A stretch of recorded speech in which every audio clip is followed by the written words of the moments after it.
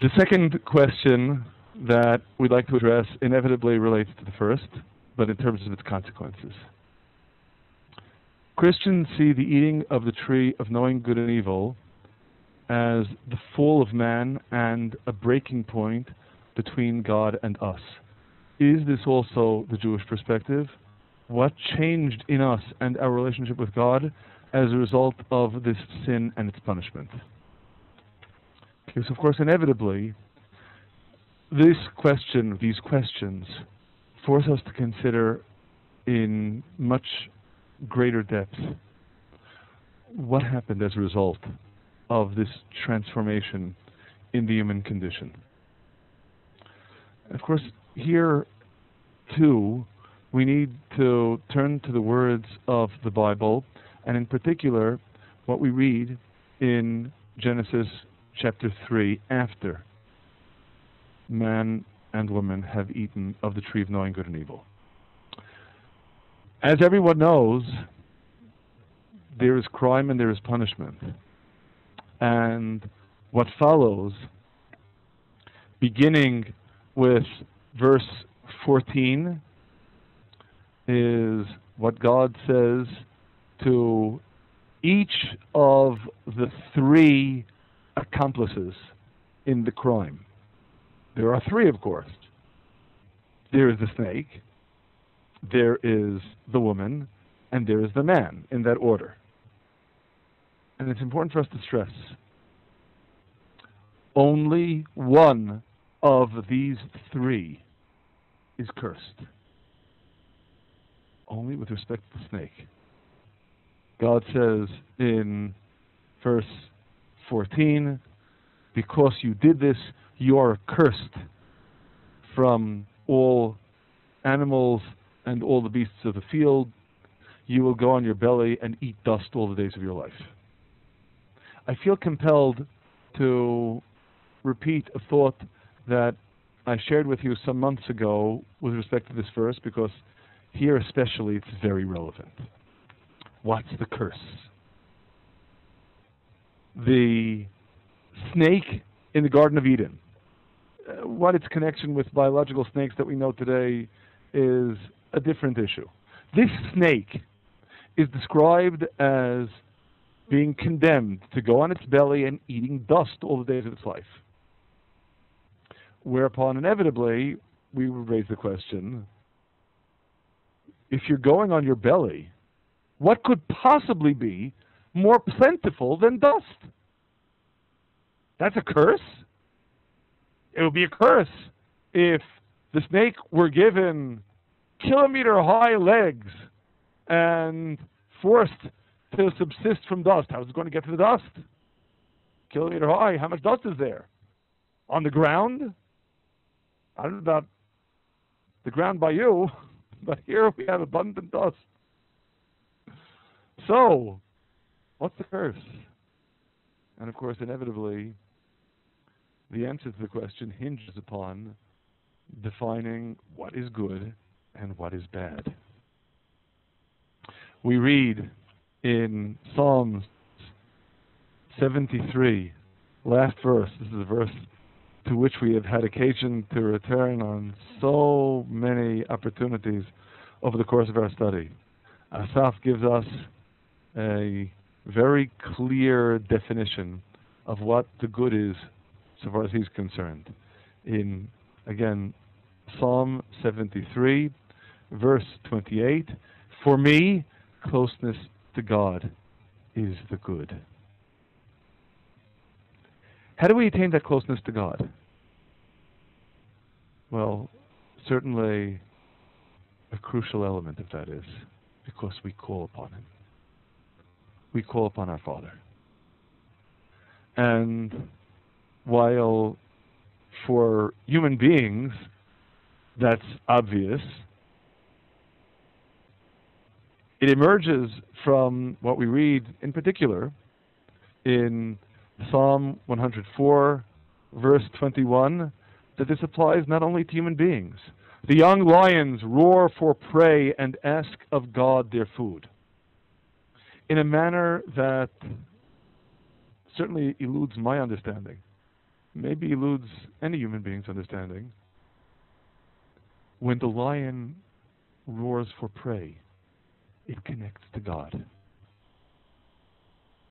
Because we have needs, needs that are unfulfilled, we always turn to God. Everyone has needs. And specifically because of those needs, we have that greatest good as expressed in Psalm 73, verse 28.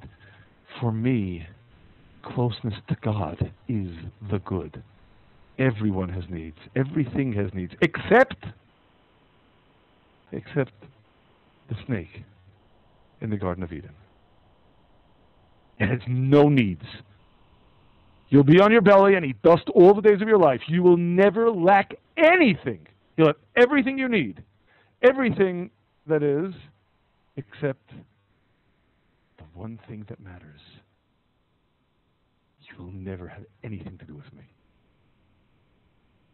Take your needs, take your food, take your sustenance, says God to the snake, and get out of here. That is indeed a curse. That is the ultimate curse. Because it severs the snake from the only thing that matters that closeness to God. That, again, pertains to the only accomplice that is cursed here. What happens to the woman and the man in the successive verses? In verse 16, to the woman, God said, I will multiply your anguish and your pregnancies. You will give birth in pain and be subordinate to your husband. And to the man, God said, The earth is accursed because of you. Note, the earth is accursed. You're not accursed. The earth is cursed before, because of you. And using the self same root that pertained to the anguish of the woman in giving birth, you will eat of the earth in anguish all the days of your life. And you will sprout thorns and briars and eat the grass of the field. You will eat bread through the sweat of your faces until you return to the earth whence you came. These are stern words. But is it a severing of a relationship? No. It's what we might call in modern language tough love. Because, in effect, what is God saying to the woman and then to the man? You chose to become creative beings. You chose to leave that perceptive realm behind and enter the world of creativity. Okay, you're going to get exactly what you asked for. But don't think that being creative is going to be an easy ride. The ultimate act of creativity, as personified by the woman, is creating another human being. You will create, but you will create in anguish you will give birth in pain. And for the man, the ultimate creative act is taming a recalcitrant world to be able to produce something of value. On the most basic plane, to produce food. Yeah, well, that's also going to be painful. Creating is fraught with anguish. So appreciate. Yes, you will be endowed now with the wherewithal to create. You will get exactly what you asked for. We should always watch out what we ask for. You ask to be creative. You will have to deal with the consequences and bear the brunt of what creativity imposes upon you. Is this punishment? Yes. Perhaps most critically, it is an assessment and evaluation of your reality. Because when all is said and done, what is really punishment?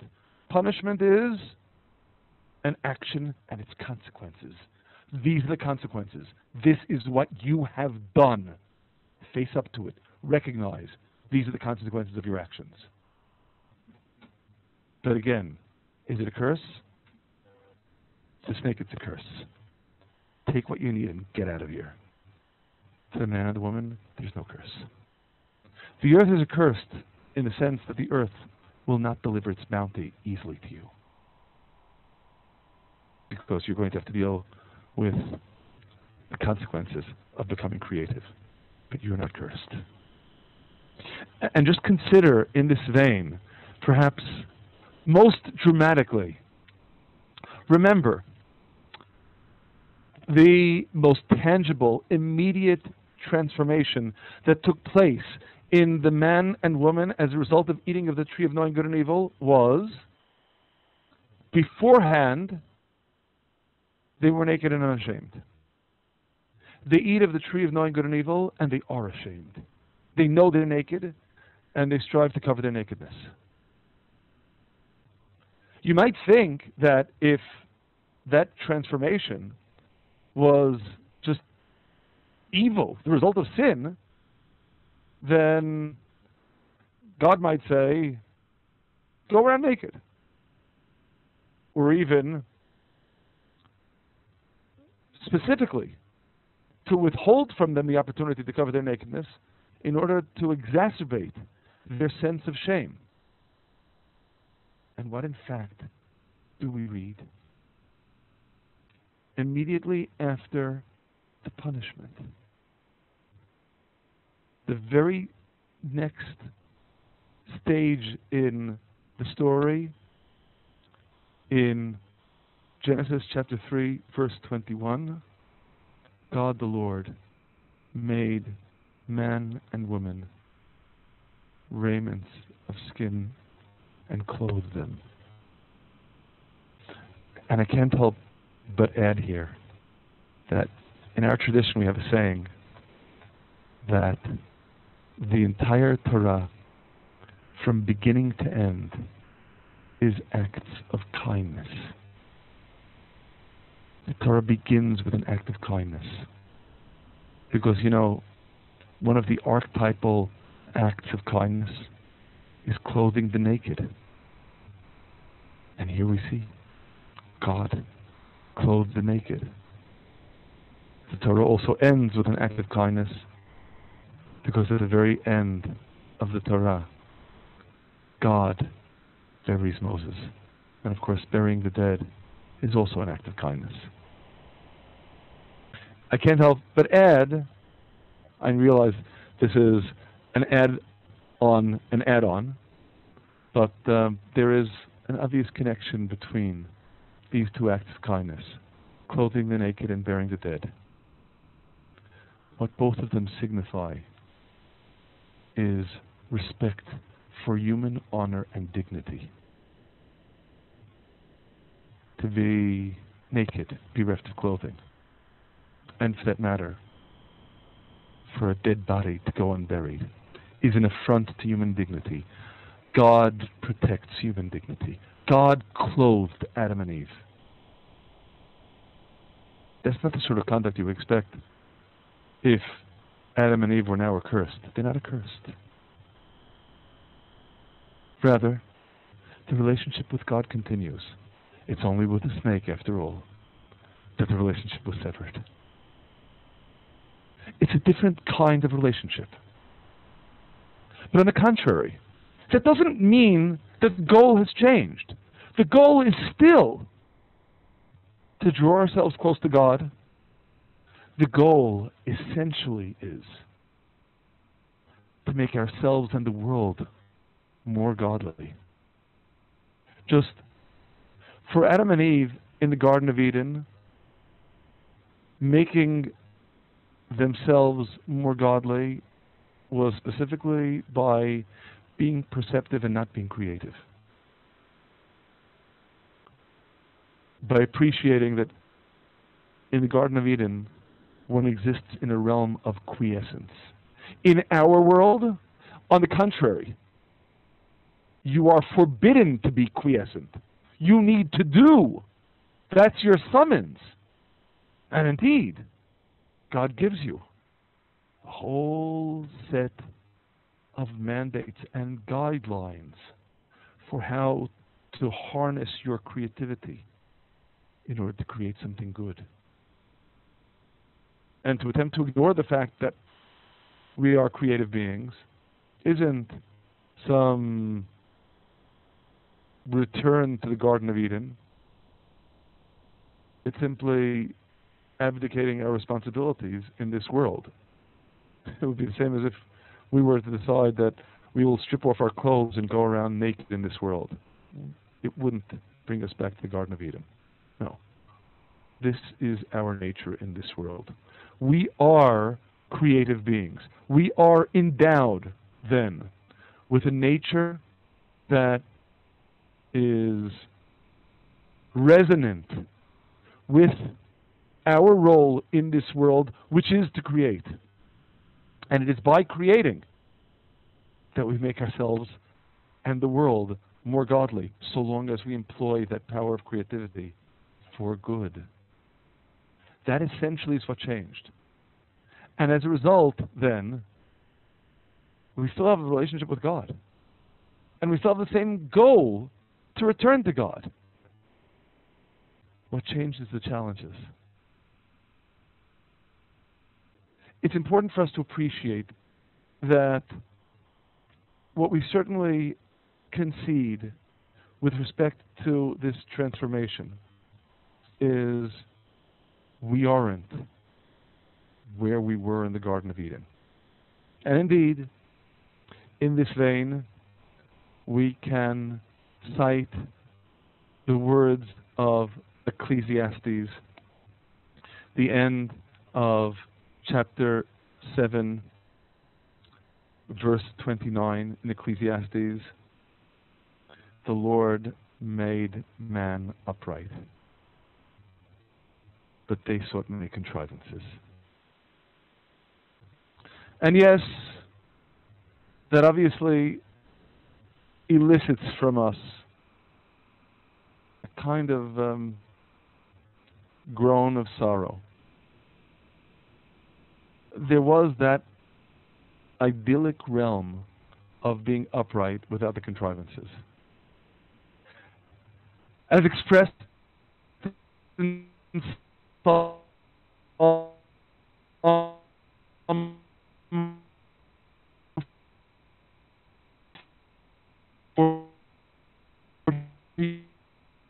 in nine.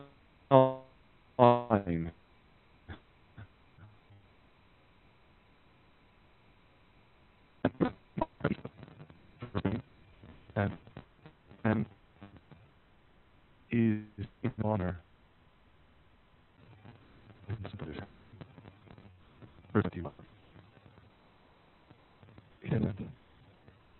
And he's on this. And he's like, but he came into this world. The game isn't over. It's a different game.